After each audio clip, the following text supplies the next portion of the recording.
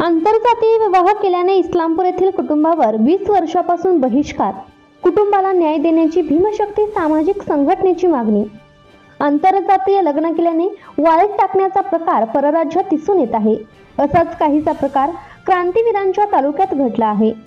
वाळवा तालुक्यातील इस्लामपूर महादेव नगर येथील लाखे कुटुंबाला आंतरजातीय विवाह केल्याबद्दल गेली वीस वर्षापासून भावकीतील लोकांनी वाळीत टाकली आहे. यामुळे लाखे कुटुंब सध्या इचलकरंजी येथे वास्तव्यास आहे.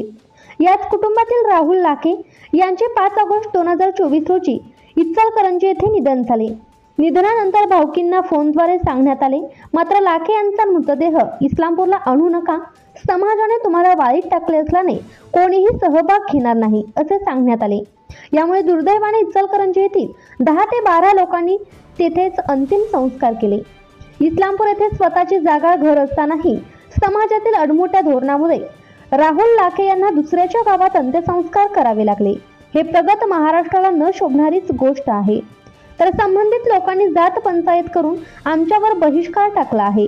त्यांच्यावरती गुन्हा दाखल करण्यात यावा व गुन्हा दाखल न झाल्यास इस्लामपूर पोलीस स्टेशनच्या दारात धरणे आंदोलन करण्याचा इशारा लाखे कुटुंबीय व भीमशक्ती सामाजिक संघटना कोल्हापूर जिल्हा अध्यक्ष सुनील जावळे यांच्या वतीने पोलीस अधीक्षक संदीप घुगे यांना निवेदनाद्वारे देण्यात आला आहे.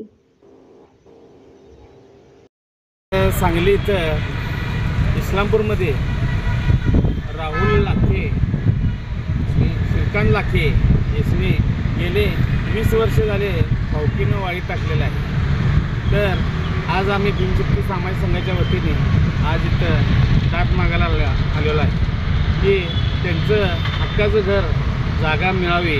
तसंच ज्या लोकांनी बहिष्कार टाकला आहे त्या लोकांच्यावर कडक कारवाई करून त्यांच्याने अटक करण्यात यावी अशी भीमशक्ती सामाजिक संघटनेची मागणी आहे.